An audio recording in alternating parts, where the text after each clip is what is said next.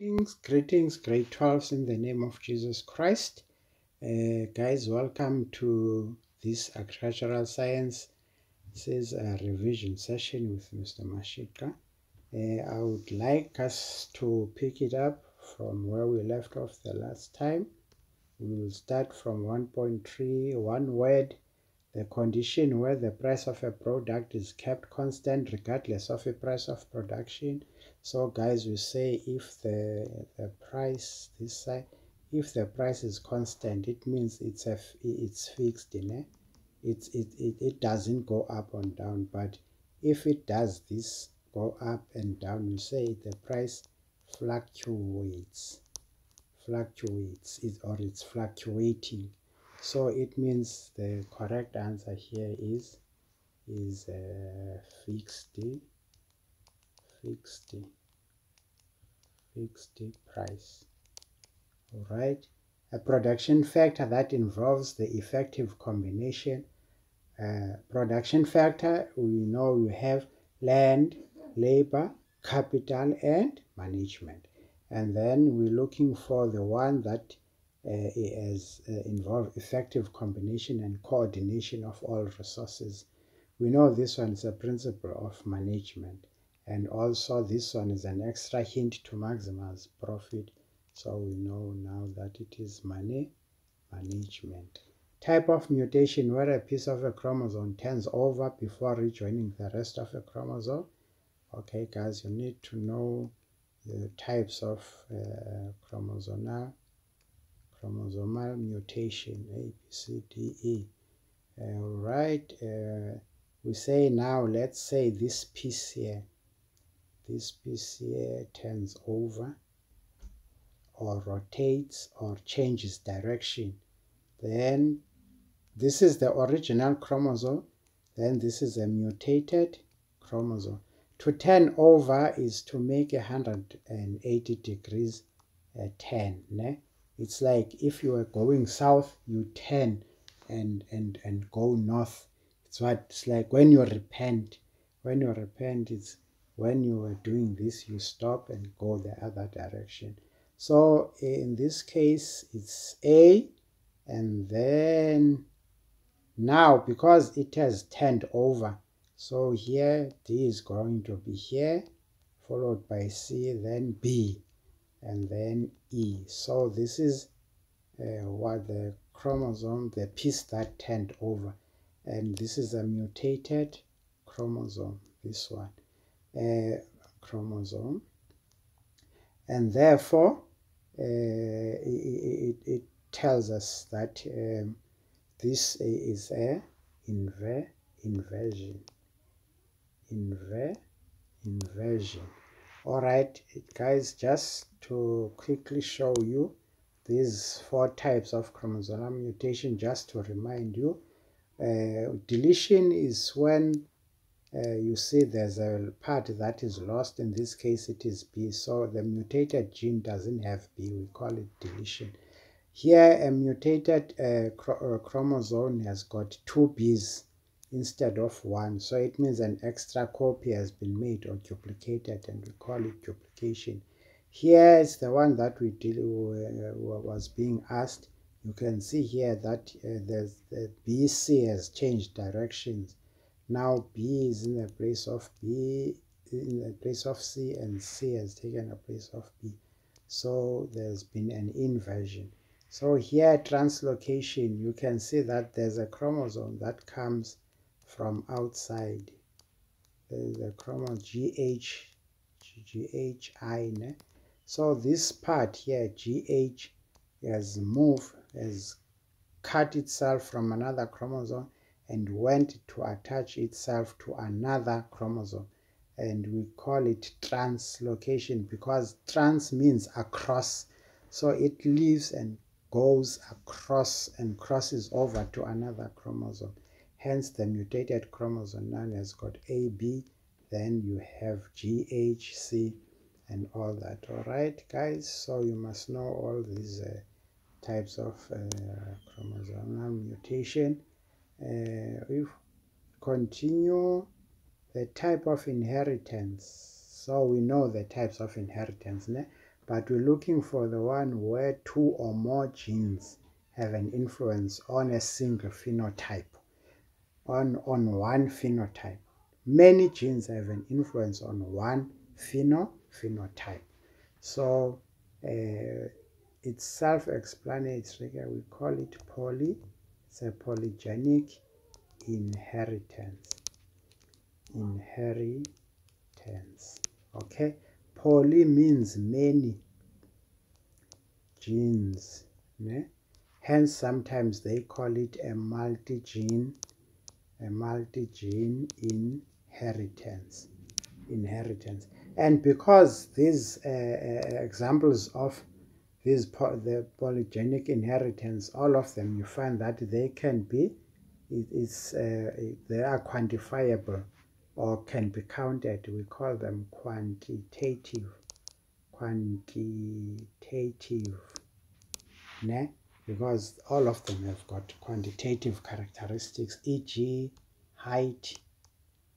Yes, you can count the height this one weighs uh, 15 sorry 1.8 meters. This one 1.7 this one 1 you see ne? and another one weight even weight is a is a polygenic inheritance is a quantitative uh, is an example of that. And even skin color skin color. In this case guys yes if it's just a question of brown of your crossing it's brown like in Mendel's case. It, it, whereby it, it's just brown or or then it, it's a um, it's monogenic. But in this case where you see that even in your house you are having different skin pigmentation or skin colors. You see that some are more darker some are more uh, are more lighter even in your class. So it means skin color is also a poly genic inheritance. Milk production. Milk production. For instance in this case if we can uh, make an example of milk production and say uh, let's say um, this uh, gene uh, contributes 10 liters. We have let's say there's about uh, four, uh, four genes that contribute to milk production. B contributes, uh, uh, let's say, um, okay, let's say all of them contribute 10, ne? all of them. And we have about five genes. that each contribute 10 liters of milk. Ne? And we know that um,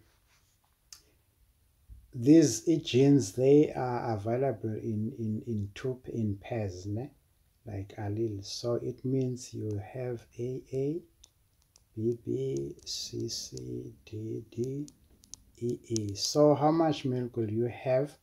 It means you'll have 20 40 60 80 100 because a 10 20 30 40 50 60 70 80 90 100 so you will have 100 liters but we say here with polygenic inheritance, you say each dominant gene, each dominant gene has an additive, additive effect. Each dominant gene has an additive effect.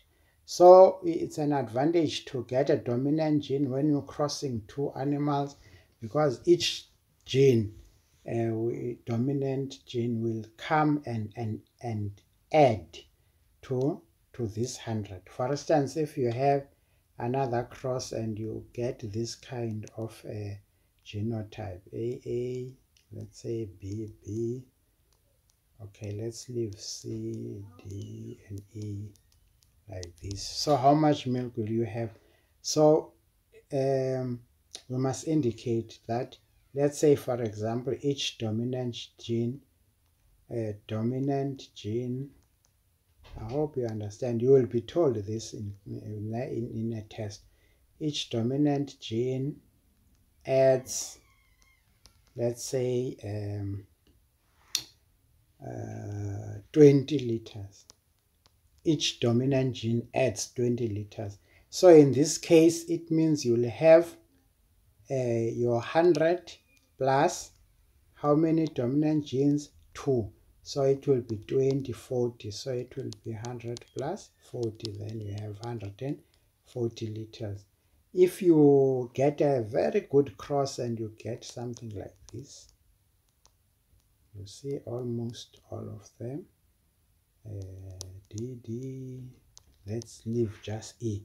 So how, how much milk you will have is you still have your 100, ne? but now each dominant gene so it means you will have 20 40 60 80 100 120 140 160 so you will you see the, how much milk increase you will have so you will have 260 liters because we're saying when you're talking polygenes each dominant allele not dominant gene sorry each dominant allele, remember these are allele, this is a gene, this is a homozygous gene, this part from a mother and this one from a father. So this whole is a gene, but alleles, this one is an allele. So each dominant allele has an additive effect of 20 liters. Hence we say uh, 1, 2, 3, 4, 5, 6, 7, 8 dominant alleles. So 8 times 20, it's 160 to give you 20 liters. So I hope you understand. These are just examples, guys, of poly, of, of uh, polygenic inheritance. Ne? Uh, even uh, all right let us continue i hope you understand now this polygenic inheritance let's move on crossing of line bred farm animals with one another of unrelated breed. So here, um, uh, here guys, you have this. Uh, we have crossbreeding and we have out crossing out crossing we crossbreeding of course it's when you cross another breed with another uh, with a different breed like a Dorset horn, Dorset horn with a with a with a what merino. Then you get what uh, you get a Dormer. Okay, okay. All right. So this is crossbreeding. It's two different breeds. You're crossing a, a, a breed with another breed. But outcrossing is when you cross a merino with another merino. And you get a merino because it's the same breed, but they are unrelated. So the reason why we say crossbreeding, eh, both out crossbreeding and outcrossing are correct, is because the examiner doesn't specify whether it's a different, you're crossing different breeds or you're crossing same breeds like in the case of, of uh, outcrossing. All right we'll continue next time guys. Thank you